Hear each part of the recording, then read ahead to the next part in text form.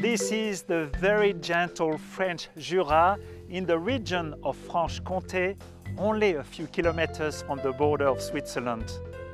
The local wines of Arbois are very delicate and much enjoyed with the local sausage of Morteau and the fromage of Morbier and Bleu de Gex. But for me, the highlight of the region is the extraordinary quality of the fromage called Comté from the Fromagerie Marcel Petit. The 35 kilogram wheels of freshly made Comté are collected from 30 local villages to be matured in the cave of the Fort Saint-Antoine. As soon as the cheese has arrived, they brand it to make sure that they know which cheese is which for the next 14 months.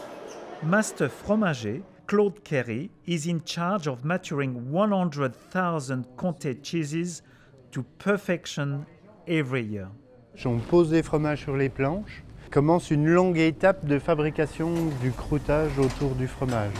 Toutes les semaines, on va retourner, brosser, saler chaque meule de comté.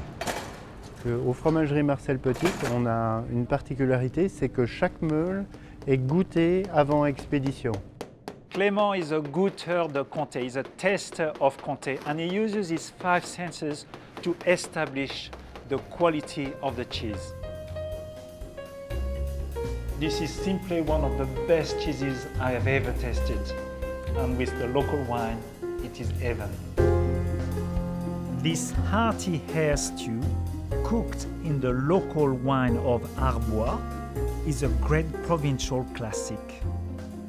I first place a hare cut into pieces in a bowl and add a sliced brown onion, a sliced medium carrot, three crushed pieces of garlic, a whole bay leaf, two cloves, three sprigs of thyme, 30 ml of brandy, and about 600 ml of local red wine of Arbois. I cover the dish and marinate overnight.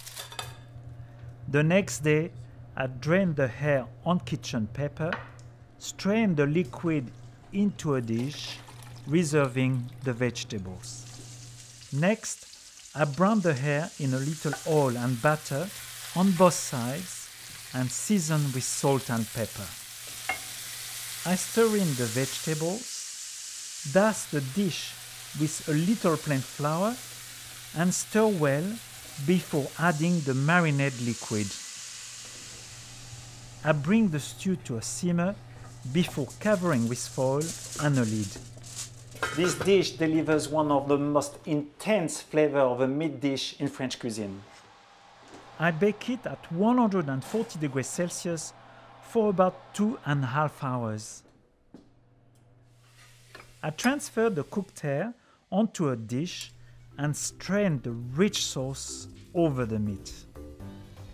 I like to serve it with pasta and sprinkled with parsley.